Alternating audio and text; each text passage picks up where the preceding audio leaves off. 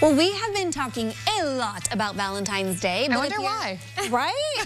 well, if you're still looking for a gift, a lot of the really good ones, they've already been bought and are out of stock. Yes, but if you're still struggling to find a gift for your special someone, or maybe you're not so special someone, we have just the thing. It's not a brand new idea, but Scovill Zoo is making it its own thing this year, and it's something you just have to see to understand.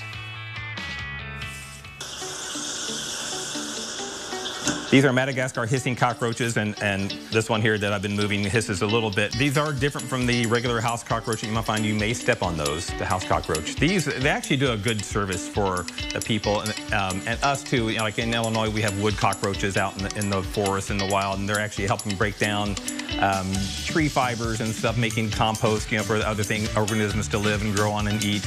So they actually have a, a very good uh, job out in the wild, and 95% of those cockroaches are doing those jobs out there, and not, and and then the 5% that are in your kitchen, yeah, yeah, step on them, yeah, get rid of them. So they're kind of interesting little critters in their own right. So they're not really naked, they're not really moles, they're not really rats, but they do have some hairs around their mouth. The rest of the body is pretty naked, and the hairs actually come in handy, uh, feeling their ways along in the tunnels and keeping dirt and stuff out of their mouth and eyes areas. Um, they spend most of their lives underground, so they're just eating uh, tubers or the little uh, vegetable things that kind of hang under the ground, and they're in Africa, and the colonies of the naked mole rats will cover like a whole football field just with the tunnels and the chambers that they have underneath. And some chambers are just for going to the bathroom some chambers are for eating some chambers are for sleeping some chambers are chambers just for resting you know. So they just have all these different chambers that they like to go and hang out and they're very active to let people adopt our naked mole rat or our um, cockroaches. And um, it's just a, a, fun little promotion on Valentine's Day. For the person that has everything, they can have a, uh, an, a cockroach or a naked mole rat adopted in their honor. And maybe you have a friend that, or used to be a boyfriend or something that you think of as a cockroach now, a perfect adoption present in honor of them as well. Well, actually, we have animal adoption for a lot of the animals throughout the year, and it seems like these guys don't get as much love as the other animals, like the, the penguins and the cheetahs and the camels and the wolves. You know, they, they all get a lot of good love throughout the year with the different adoptions, but um, sometimes it's just nice to honor the, the, the humble cockroach and the humble naked mole rat.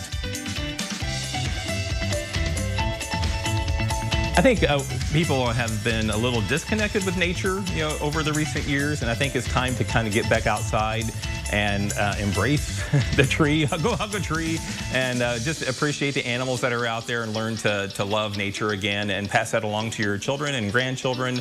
And uh, animals in the wild are really having a tough time in some areas of the world. They're becoming endangered and critically endangered in some areas, and it's just kind of a good place to learn about that, learn what you can do even in your own backyard. If it's a recycling and taking care of things that we can take care of, that's making a big impact on the earth that we live on. You adopt the, the cockroach or the, the naked mole rat, uh, you get an adoption certificate, and then you get some artwork uh, from the actual mole rat or the actual um, cockroach. And so there's a little uh, artwork piece that you get, and then the picture as well. So we'll send a picture along um, of the cockroach or the naked mole rat, whichever one you adopt.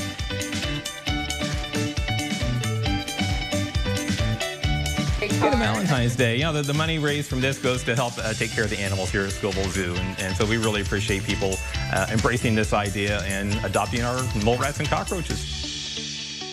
Do not get me that yeah. for Valentine's Day. Let's get her that. I have one back in the office. Oh, no. Don't tell her. Okay, I won't.